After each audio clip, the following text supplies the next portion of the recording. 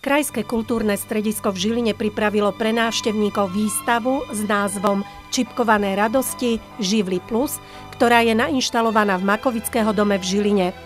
Výstava je reprízou oktobrovej prezentácie prác člene klubu paličkovanej čipky Grácia pri Krajskom kultúrnom stredisku v Žiline, ktorá sa konala pri príležitosti 20. výročia založenia čipkárskeho klubu. Ide o výstavu, ktorá je reprízou e, z októbra, kedy členky klubu Paličkovanej čipky Grácia oslavovali 20. výročie svojho vzniku. No ale keďže túto výstavu v oktobri stopla pandémia, tak sme sa rozhodli ju návštevníkom odprezentovať po druhý krát.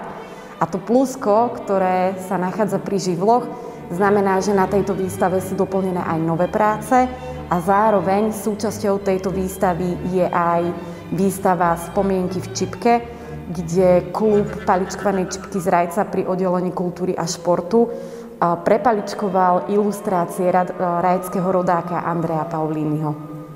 Na tejto výstave majú návštevníci možnosť zakúpiť si aj hotové práce členiek klubu paličkovanej čipky Grácia, taktiež publikáciu Čipkované radosti, ktorá vznikla pri 20. výročí založenia klubu. No a takisto aj rôzne predlohy od čipkárok. Výstava Čipkované radosti Živli Plus v Makovického dome v Žiline potrvá do 18. júna.